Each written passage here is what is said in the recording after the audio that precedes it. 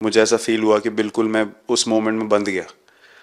और बाद में मुझे समझ आया कि जो चीज़ होनी होती है वो किसी भी तरीके से होती है। तो ये होना ही था आ, मेरे साथ टीम के साथ।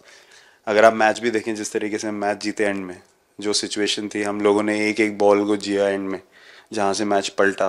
और हमारे अंदर क्या चल रहा था वो हम एक्सप्लेन नहीं कर सकते।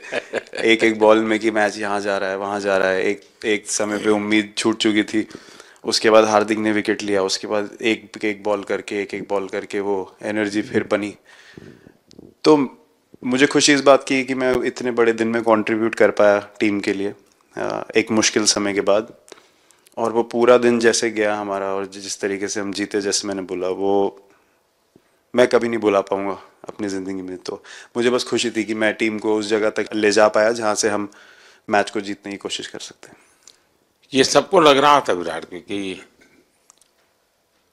टोटल आपका सेवेंटी फाइव और बाद में एकदम सेवेंटी सिक्स तो कभी कभार ये पल होती है जी, जब सब लोग कहते हैं, यार, तुम ही कर लोगे।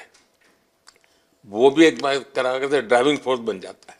लेकिन परिवार से इमीडिएट क्या रिएक्शन आया होगा? जब पचहत्तर में दबे रहते थे तो। अच्छी बात ये थी, सर, यहाँ टाइम का डिफरेंस ज़्यादा है।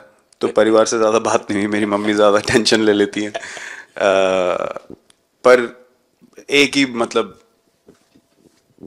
जो भी मैं करने की कोशिश कर रहा था, वो हो नहीं पा रहा था। तो मुझे यही लगा कि जब आप अपनी तरफ़ से इतनी और आपको ये लगता है कि मैं कर दूँगा तो वो कहीं ना कहीं आपका अहंकार ऊपर आ जाता है तो फिर खेल आपसे दूर चला जाता है। तो वही छोड़ने की ज़रूरत थी, और जैसे मैंने कहा कि गेम की सिचुएशन ही ऐसी बन गई कि मेरे लिए जगह ही नहीं थी अपने अहंकार को ऊपर रखने की। वो पीछे रखना ही पड़ा टीम के लिए। और फिर गेम ने फिर जब गेम को इज़्ज़त दी तो गेम ने वापस उस दिन इज़्ज़त दी तो मुझे ये एक्सपीरियंस हुआ सर। बहुत बधाई भैया।